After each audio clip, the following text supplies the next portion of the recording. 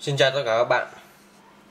Hôm nay tôi xin uh, giới thiệu về cấu tạo của công tắc tơ Và hướng dẫn các bạn cách phục hồi công tắc tơ Sửa chữa, thay thế những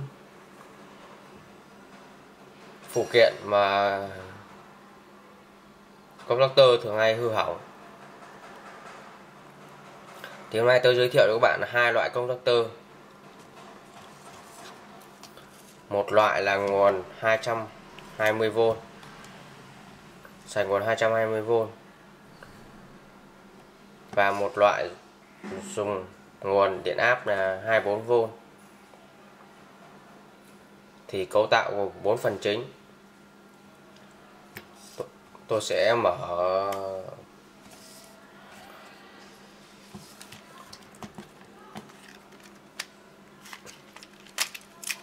đó.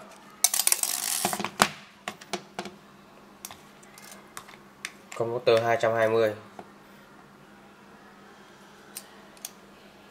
thứ nhất gồm một lò xo. Khi tháo ra, sẽ có một lò xo. Thứ hai, một cuộn dây 220V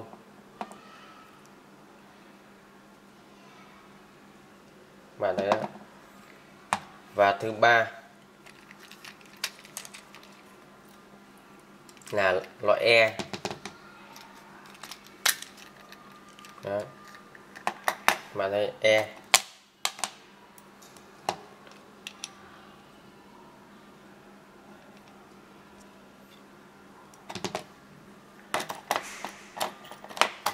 Và thứ tư chủ gắn trên loại E phía trên á, dùng để hút nhả, bao gồm các tiếp điểm.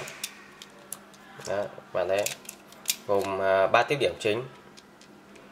Dùng để đóng cắt và cung cấp nguồn cho động cơ ba pha và hai tiếp điểm phụ thường đóng và tiếp điểm thường mở. Đó, ở cạnh bên sườn. Và cuối cùng thứ năm là vỏ.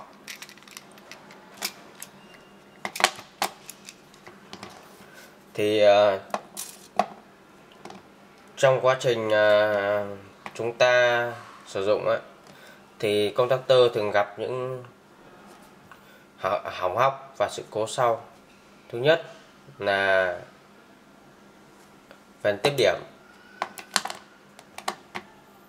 Thì khi chúng ta bảo trì sửa chữa chúng ta thay mới công tắc tơ thì chúng ta sẽ phải ghi nhật ký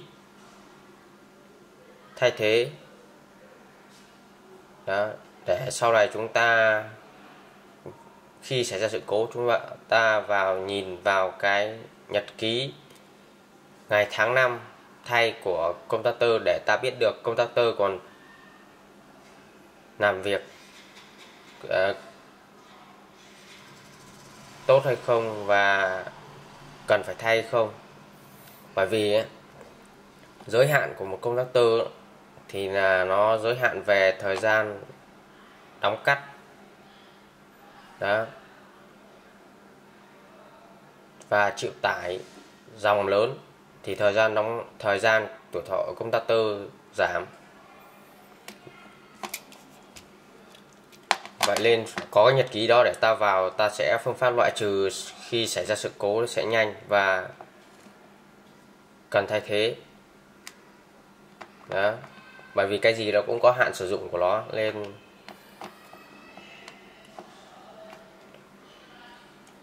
chúng ta biết được cái nhật ký đó và thay thế chúng cho nó kịp thời. Và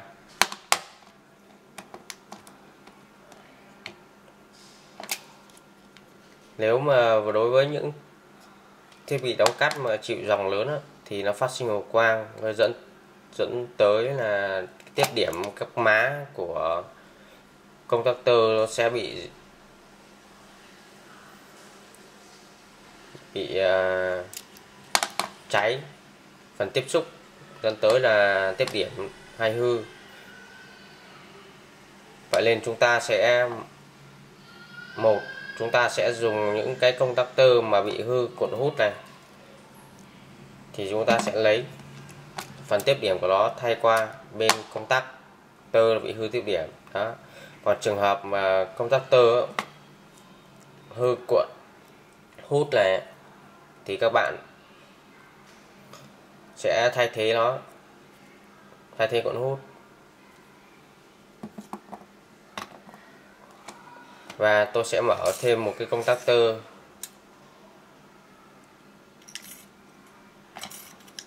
và thêm công tắc tơ tiếp theo là công tắc tơ 24V xem nó có điều gì khác nhau. Thì công tắc tơ 24V đây cấu tạo thì nó cũng giống như công tắc tơ điện 220 bao gồm cũng có một lò xo một cuộn hút và một uh, lõi e lõi thép e. Đó. và phần tiếp điểm hút nhả Đó. chỉ khác một điều đó, là cuộn hút nó sử dụng điện áp là 24V Đó. ta sử dụng điện áp thấp nhưng vẫn đảm bảo được cái việc đóng cắt của công tắc tơ tùy vào cái ờ, môi trường làm việc cũng như ờ,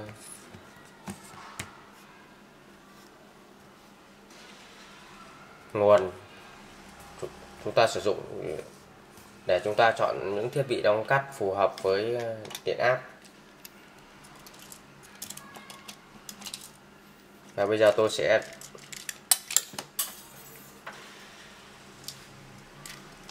test công tắc tơ cho bạn coi.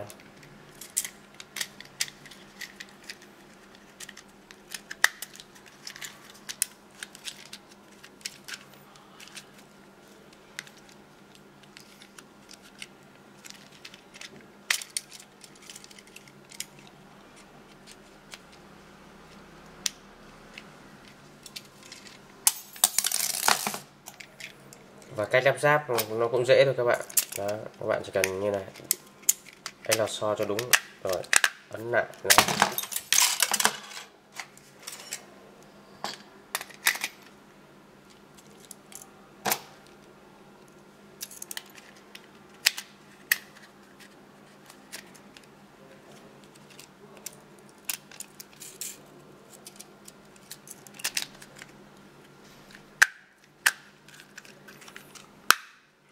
Đó, ấn cạch cái là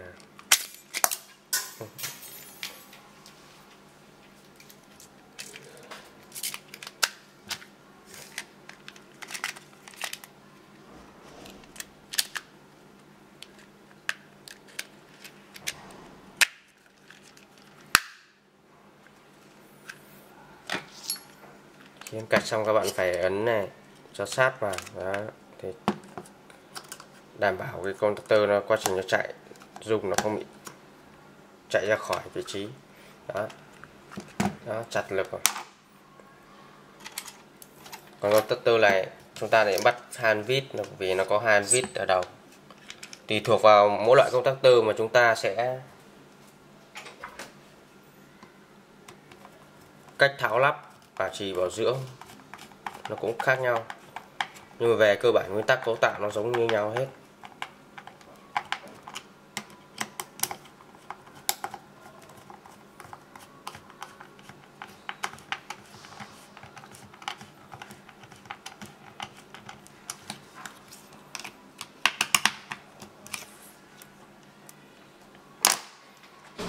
Và tôi test công tắc tơ đây 24V các bạn coi.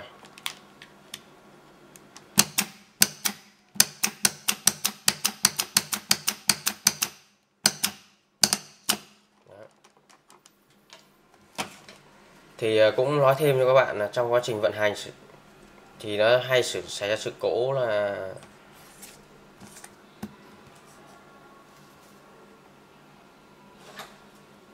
dưa nhật ấy vì động cơ nó quá tải, nó sẽ nhảy nhảy ờ, cái ờ, thao tác nó nhảy tiếp điểm của dưa nhật này, khi nó nhảy lên á, thì các bạn khắc phục sự cố xong, các bạn phải ấn cái nút lại, ấn cái góc này, nó có cái lẫy này, ấn lại rồi xuống để cho nó hoạt động trở lại. Đó. Và phần quan trọng không kém đó là tiếp điểm sẽ bị, thường thường sẽ xảy ra quá trình là sự cố quá tải cũng như là chập mạch gây à, tiếp điểm à, hư hỏng, gây hiện tượng mất pha hoặc là dính tiếp điểm. Đó. thì các bạn cần dùng đồng hồ để đo chủ yếu là phần mạch động lực còn cái phần uh, tiếp điểm phần trung gian á, thì nó sẽ ít hư hỏng hơn bởi vì điện áp điều khiển nó thấp và tải này, nhỏ. Chủ yếu là các cuộn hút nên đâm ra là nó độ bền nó rất cao. Chủ yếu ta sẽ kiểm tra là ba cái tiếp điểm chính. Đó. Rồi xin cảm ơn và hẹn gặp lại các bạn vào video sau.